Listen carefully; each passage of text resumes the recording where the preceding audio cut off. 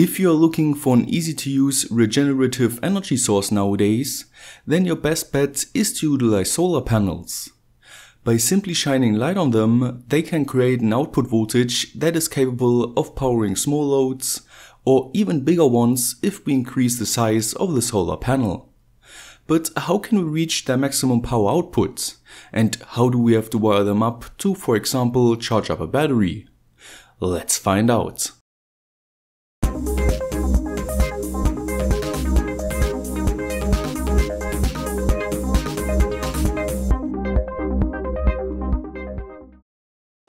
If we have a closer look at this 100 watts solar panel, we can see that it consists of individual solar cells. Those basically make up all commercially available solar panels. And of course, you can buy such cells online as well.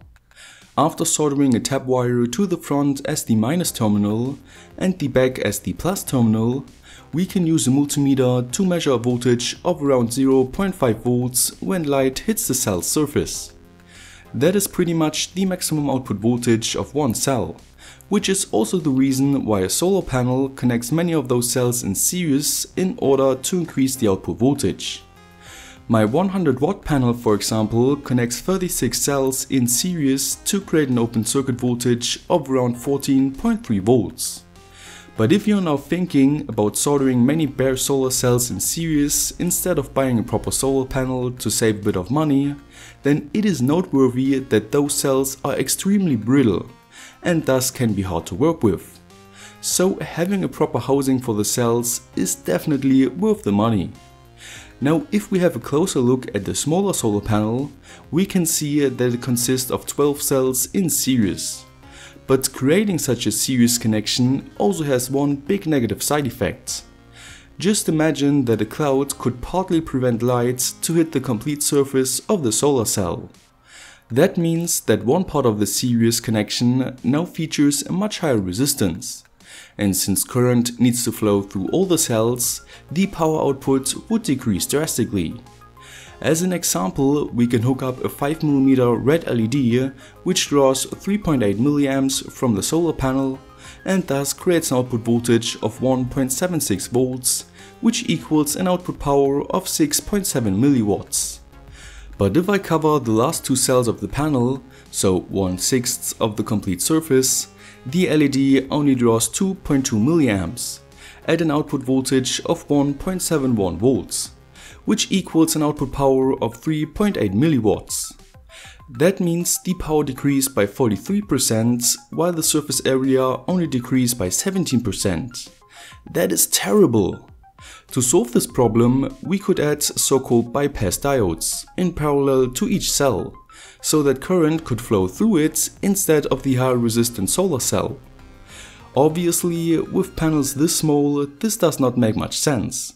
But if we take a look inside the junction box of the 100 watt panel, we can actually see two diodes. Those are placed in between the half of the solar cells and the plus and minus terminal. Of course, this is not the ideal solution, but through the two diodes, the panel can uphold the power outputs if one half of the panel is darkened by a cloud or something similar. Another kind of diode you often see are so-called blocking diodes and are used when solar panels are connected in parallel, in order to decouple them from one another and prevent reverse current flow through them. And now that we know how solar panels are wired up, it is time to use different loads to test out their power output potential. But to lower your optimism right from the start, we will probably never get 100 watts from a 100 watt panel, since those characteristics were determined under so-called STCs, aka standard test conditions. Those include an irradiance of 1000 watt per square meter, a solar cell temperature of 25 degrees Celsius, and an AM value of 1.5, which means that the sunlight traveled through an air mass of 1.5 times the value of the atmosphere. With my 0.6 watt panel here for example, I achieved an output power of 16.5 milliwatts with a green LED, an output power of 13.2 milliwatts with a blue LED, and an output power of 9.5 milliwatts with a red LED. But why does the output voltage vary that much depending on what kind of load I attach? We can find the reason by having a look at the simplified equivalent circuit diagram of a solar cell. If no load is attached, so an open circuit, it acts like a constant current source that lets a current flow through a diode, which therefore creates the characteristic cell voltage of around half a volt. Parallel to that, we got a resistor, which represents the power losses caused by the semiconductor material defects. And at the end, we got a series resistor, which represents the power losses through wires, terminal connections and so on. If we now add a load to the cell, the current from the constant current source divides itself and creates a more complicated electrical network. But what we know for certain is that by varying the load on the outputs, we should be able to find an optimum at which we can draw the most power from the cell.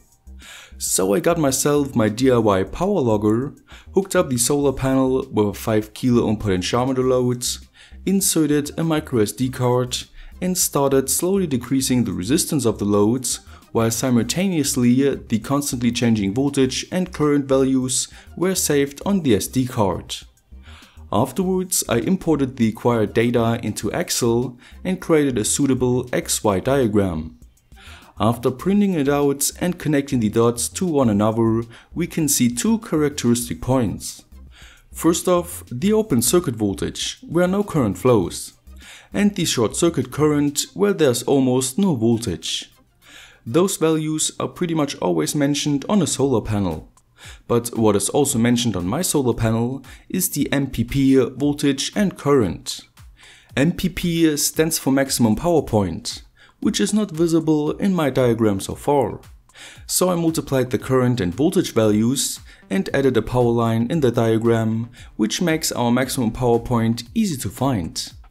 This point equals an output voltage of around 4.4 volts and a current of 4 milliamps, so a load resistance of 1100 ohms. Now of course you don't want to simply add a resistor with the required value to the outputs and be happy about that you can heat it up the most efficient way. You usually want to charge up a battery. That is where we can use charge controllers. The best ones of this kind are so-called MPPT ones, or maximum power point tracking ones. Those usually utilize some kind of switching converter to act as the ideal MPP loads and thus charge up the battery.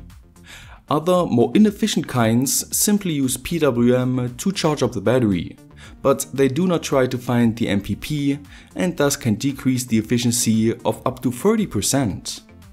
And with that being said, you already know quite a bit about solar panels and how to use them properly. If you learned something new, don't forget to like, share and subscribe. Stay creative and I will see you next time.